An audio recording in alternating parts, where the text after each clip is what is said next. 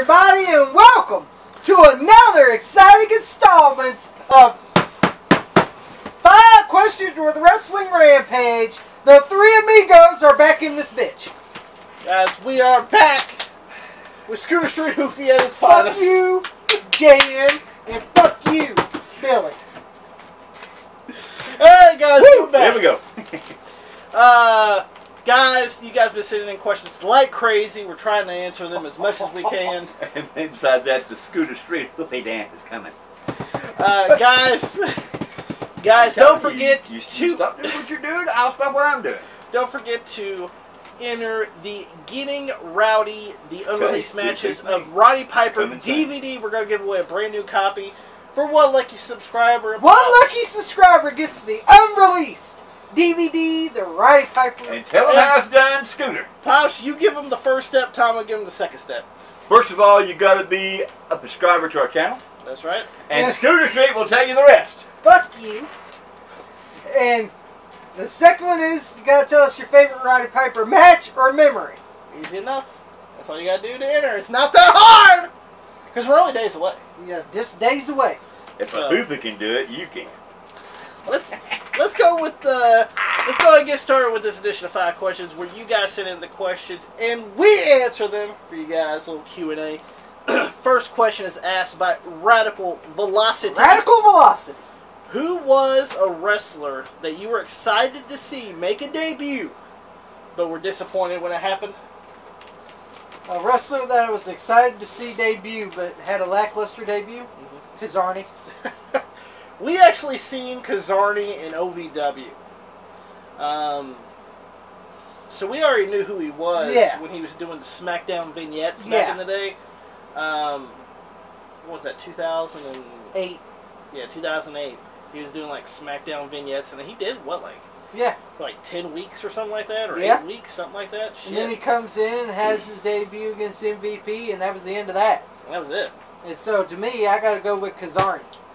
Uh, so you were excited to see him debut? Yeah, Yeah. because I knew him. hmm And, and he had a good gimmick. Mhm. And of course, he couldn't wear the apron PG, like Dusty told him. can't wear the P- can't wear the bloody apron. You gotta lose it. PG, brother. PG. And uh, so they made him a circus guy. hmm And uh, and then he uh, debuted against MVP, and that was the end of that. Pops, is there a wrestler that you were excited to make a debut, but you were disappointed when it happened? Really? Let's go to Nick Nick, Nick Dinsmore. Let's go to him. Nick Dinsmore? Oh yes. Eugene. Yeah, boy, that was bad, wasn't it? The guy- the guy was a great fucking talent. Could wrestle around anybody. Oh, look what they did to him. Good lord. Oh man, I got I, I got a lot. Got got Nick Dinsmore, got Rob Conway, got the Basham brothers, Yeah. Spirit Squad. All these guys are almost fantastic performers except for Mitch. And then Um, the one that rolled on his ass like a dog. yeah, Fuck him. all these guys are How actually the fuck did he get that lucky to be with Torrie Wilson? Mr. Mr. Goddamn rubbing your ass cheeks on, on the mat like that's Well, supposed to impress Well, somebody. well, here we go. In- In my in my opinion, there, Torrie knows how to pick 'em. Torrie Wilson. pick me. She she she, she had beauty. She never had no brains. Guess not. Uh. she, she went with Mitch. At least Billy Kidman had talent. Uh, definitely those are the ones that come to Yeah, mind the Spirit most. Squad, the Basham brothers. Rob Conway, Uh, the Bashams. definitely a big letdown for them when they come to the main roster. Now, yeah, Spirit Squad won the World Tag Team titles, and and yeah, the Bashams were WWE Tag Team champions. But I mean, and so and so was so was Rob Conway, but and so was Nick Dinsmore when you Yeah. think about it. So, like, I mean, yeah, they won title, you know, the tag team titles, but they didn't win anything else really. Yeah. Um, But So- you know, if you guys never saw them, uh, it, bro, did their, all their talents, you should watch OVW ba- back in the day. You know, uh, because those guys were just so great back then. But you know, when you go, when, it's, it's, it's the way it is right now. Ju- Just like NXT. You know, those that are great in NXT when they come to the main roster, phew, have mercy on them. definitely the ones that came from OVW were real big disappointments. Yeah. Now, I mean, I, I I knew some of them weren't going to be fucking dog shit. I knew fucking I knew Heart- Snitsky wasn't going nowhere. the heart Yeah. throbs weren't, weren't going to go nowhere. I knew a lot of them weren't going nowhere. But Yeah. some of the ones that I knew were talented, that were good and everything. Like and they- MNM and Yeah, you know, they kind Deuce of. and Domino, Yeah, well, Deuce and Domino was a letdown you know, because they were top. They, they were a top team. Yeah. they were a top team. Uh, let's go with the next question asked by TN Couponer. The Oh, yeah, baby. Deal's the deal maker. the deal maker. Go go check out TN Couponer's channel if you guys want to learn how to coupon and save some dough. Because we know here at Wrestle Yeah. Rampage we save that dough. Mm, damn right. Uh, You can tell by looking at our set. That's right. the fucking WR Studios. Yeah. Remember, Uh, we live we live in a log cabin. yeah, we li- we live. Oh, by the way, p- people say we live in a log cabin. or We live in a trailer, even though this is fake wood. But uh, Yeah. That's uh, how stupid people are. uh, this is this is my room, and yes, it is it is wood paneling, but the rest of the house is not wood paneling. You dumb fuck. For some odd reason, this room is. I don't know why. But but just to set the record straight, I can fish, I can hunt, and I can lay a trout line. Uh, T Couponer's channel. Go check out his his uh, channel. Uh, hit that subscribe button. Tell him Wrestling Rampage WR sent you. His first question is favorite memories or matches of Eddie Marlin. Um, late last week, uh, Eddie Marlin passed away. Uh, I believe he was like 87 or something. I mean, he's fucking old. Yeah, he was really old. Uh, and uh, you know, this is the thing: is uh, Eddie. Some people may not know who Eddie Marlin is. Uh, yeah. older older wrestler in in, in the '60s, Yeah. um, uh, even in the '70s. Uh, he even wrestled a little bit in the '80s as well. But by the '90s, he did a lot of um, producing for uh, Memphis Television Yeah. for the USWA. He was the matchmaker. Yeah, he was. Uh, so, um, and he just recently passed away. Now, Yeah. I heard for a while now because if you guys listen to Jim Cornette's podcast, uh, uh, he just he actually went and seen Eddie Marlin recently, like uh, about a month ago or something like that. And he said that Eddie's in pretty bad shape, Yeah. but uh, uh, you know, Eddie's a tough guy, and he thought he could pull through it, which, which he did for a little while yeah. uh, and uh, sadly enough, he passed away. What are some of your memories and uh, or favorite matches of Eddie Marlin? Well, I don't know about matches, but uh, Yeah, matches for me and Tommy. I didn't really watch a lot of Eddie Marlin matches because it was not during the times that I was watching wrestling. yeah. But I do remember on like, On USWA, he was the matchmaker and make matches. and, and then not only that, but if something broke out or something, He would always be there. you hear, hear Lance Russell, let's get Eddie Marlin out here We need Eddie Marlin out here. because nobody's gonna fuck with Eddie Marlin. No, everybody knows fucking with Eddie Marlin. He's a tough guy. You don't want to uh, fuck with Eddie Marlin. When Eddie Marlin's out there, you don't want to. Then my other favorite, you know, Jimmy Hart when he came to the WWE, when he went to the WWE. Remember they were doing the invasion of the USWA. Yeah, If fucking, if fucking and Jerry and Jerry Lawler and Jeff Jarrett were the number one team in the country or whatever in the in the in the in the magazine. And he goes, "Oh, you know how?" And Jimmy Hart goes, "Oh, you know how? You know how Jerry Lawler and Jeffrey Jarrett got that? Didn't you?" Eddie Marlin pulled out that dusty wallet. He blew it out, grabbed those crinkled dollar bills, and paid somebody to put that in there. Classic. Uh, I actually like J- uh, uh, Jimmy Hart's Memphis stuff more. Oh I yeah, like Jimmy Hart more than Memphis his stuff WWF stuff. Uh, But I have to go. Eddie Marlin was a great matchmaker in USWA. He he was a tough guy too. uh, he didn't take no shit from any of them wrestlers. That's right. So, uh, and, and, and and same same for me with, with Tommy as well. Um, more of my memories of him uh, behind the scenes Yeah. in, in USWA in Memphis more than it is on on camera. Uh, Pops. Uh, I remember when uh, uh, uh, Eddie Marlin used, used to wrestle. He he teamed with uh, Tommy Gilbert. yes, They- and- yes, they they, were yeah, tag team, and, yes. and and and they became the United States Tag Team Champions Mhm. and, and, and World Tag Team Champions. Uh, they they ruled in that day and time. They ruled the Memphis area as being tag team. Mhm. Uh, I mean, and, and, and- If you guys don't know who Tommy Gilbert is, is That's he's- Eddie Gilbert's uh, dad. Yeah, and Doug Gilbert, sadly Yep, enough. and Doug Gilbert. and, and here, here's the thing: they, they wrestled all over the world uh, as tag teams, but, but but but but their main branch was right there in Memphis, and and, and they, they signed a contract that that, that as you want to face us, you have to have one match with us in Memphis. Mm. That right there was in their contract. And, but but but uh, I, I remember I remember that the times you know that, that uh, when when Eddie got Eddie got older, he, he, he, he, would, take bumps. Now this old man would get out there in that ring and he would take bumps. He'd get knocked down. Uh, he still got knocked down Yeah. even his matchmate. Yeah. Mhm. I, I, I, I still remember the, the, the things with the with with the the, the now out south Jimmy Hardy said he- when it, when things didn't go didn't go right in his matches, you know, Eddie Marlin, what he's going to have to do is he, he, he's going to have to go go go to go to an eye doctor, get them glasses changed because darn indeed, if you didn't see what happened that right there match, then you do need glasses. Well, what happened is he's too old to do this right here stuff. His eyes are fading. You can tell his body ain't worth ain't worth nothing. So it was the constant thing that they would always bring Eddie into something, and Eddie would play it out. It was, it- I mean, even though as old as he was, he would still play it out. No doubt. And uh, rest in peace, Eddie Marlin, Yep. and condolences for uh, him and Sure his family thing. as well. I love you. Next question, also asked by TN Couponer: Who would you, who would you had uh, to break the streak of Goldberg in WCW? If I had to choose to break the streak, Yeah. Now, as you guys know, it was it was Kevin Nash. well, that's politics. Uh, and, No, I'm being honest. and the he stun that. and uh, and Scott Hall with the stun gun. Yeah, no, really. I, uh, Nash had the book, and of course he wanted to be the guy to, to beat fucking Goldberg. Mhm. He had the he had the stroke. He had the pencil. this stroke and this stroke. Yeah, well, that's it.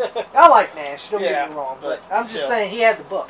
You didn't have to book yourself. Yeah, he booked himself. Uh, hmm. Now, now, now, when I'm thinking about it, you got to think about: Do you want somebody that is can make an impact? yeah, Do you want somebody that needs a push? yeah, Do you need somebody that's just coming into WCW yeah. and can have a major impact? Those would be the three things. And Nash didn't fit those bills, in No. my opinion. The person that I thought could have ended the streak is the one he faced at Halloween Havoc '98, Diamond Dallas Page. By Dallas Page. That- No, uh, he could have. Yeah. Because he was that close from beating Goldberg. Yeah, until the fucking goddamn fucking uh, pay per view went out. I, I have to go with Diamond Dallas Page. Yeah. DDP. And one I like DDP, so I'm going with Diamond Dallas Page. Um, that's a good one, but I would also throw in because it's not too long until we got Bret the Hitman Hart. To Bret Hart would have been a good one too. to come in because when you think about Bret Hart's career in WCW, not that stellar. Yeah, it could have been Bret Hart too, because It would it would No. it, it would have done something for Bret Hart in WCW to have beaten Goldberg. yeah, yeah. And of course they, I don't. And then not only that, but he was one of the hottest wrestlers in the WWF. Would it Yeah. make sense for him to come into WCW and actually? I mean, I wouldn't say he would demolish Goldberg or anything, but but, he'd I, be think, the first guy to beat Goldberg. I, th- I think it would be a longer match because Goldberg had the short matches. Yeah. Yeah. I think it'd be a longer match, maybe I think- I- outwinded Goldberg, Yeah, I think I, I, something like that. Yeah, I think I, I think that, that, that, that he would he, he would have extended Goldberg's match length. Mm-hmm. Uh, I, I and I and I do think that that, that And he, then of course the yeah. and, and then of course the commentators have to have to Yeah. have to hit those points too. You know, Yeah. Goldberg's matches are less than five minutes. You know, this is about a 15, 20 minute match. Yeah. You know, Goldberg's not used to going this Yeah. fucking long. You know, and all this stuff. So, you know, you gotta you gotta have it. I would think Bret Hart or DDP would have been a, Yeah. a, a better choice than than, than Nash. Yeah, Pops- maybe- I, I agree, but just like Tommy says, it was all politics. Mhm. and another one that could have done it was Sting. Yeah, See? the Yeah. Sting, but but but then it- but but they never gave Sting even second thought. Yeah. Uh, S- S- Sting always got uh, uh, uh, always got pushed to the wayside. Well, in of course, WWF. he, even once the WWF guys came in, Sting was second thought. Uh, so yes, uh, definitely, I, I'd, I'd either go with Bret Hart or, or DDP. Yeah, but I threw Sting in there because he was a good option too. But, but if I had to choose, it would have been more Bret Hart or DDP because Yeah. one, it would have helped Bret in WCW because he didn't get diddly poo in No, WCW it didn't. until until fucking finally they give him the world title. Which still didn't mean that And much. it still didn't mean that much because Bret got hurt a couple months after that Mhm. But by Goldberg, But- nonetheless. as we all know, But- back in back in that right there day, it, it was not who you knew, it was who you blow. There you go. and like I said, I like Kevin Nash. Don't get me wrong, but I think he used the fucking the Booker card to to be the one to beat Goldberg at, and, and I thought it was a dumb decision. Well, Agreed. You, you got to understand that back in that right there day, they ran the whole goddamn show. And and and where was Eric Bischoff's mind at? You know, he could have easily said, "Nah, Nash, you ain't booking I was yourself." too busy on the Harley. Uh, He's probably too busy on the Harley. I want to go to Sturgis. He, he, he, he Or- wants to go to Sturgis and want to be a part of the NWO crew. Or he was too busy. He, he, he, he, he was too busy co- culling his fucking hair. Let's go with the next uh, question asked by Ryan Hadley. Thoughts on Sycho Sid? Love do, do, do, do. I- if With I the- had to choose my- with the crazy eyes. Yeah, but yeah, I liked Sycho Sid. Mhm. I didn't really care too much for Sid when he came back in WCW. The Like- Millennium Man. Yeah, I really didn't enjoy that type Yeah. of Sid. Like And then I breaks his enjoy, leg. Huh? then he breaks his leg. yeah, like I like, That's later a shocking thing to WCW. Later WCW, I'm with that big fan of Sid. But when he was Sycho Sid, I liked him better. When he was in Shawn Michaels. WWF. Be Shawn Michaels for the WWF when, when, Championship. when, when he was Sycho Sid in WWF, that's when, I didn't even like him when he was in WWF as Sid Justice. Hey Tyler, who's the man? Oh, I love it. Who's the man? You're the man, baby. You're the man. I'm very definitely going to watch that. Hey. Classic. And um, I had to go. I enjoyed him. I didn't even like him as Sid Justice when he first came into WWF. I liked him better as Sycho Sid. Because when you think about it, Sid, is kind of crazy anyway. Yeah, and I enjoyed it because it fit him. And and he was the only good worker out of the Million Dollar Corporation. I'm being honest. Besides Bam Bam Bigelow. Yeah. Oh, one, two, three, kid.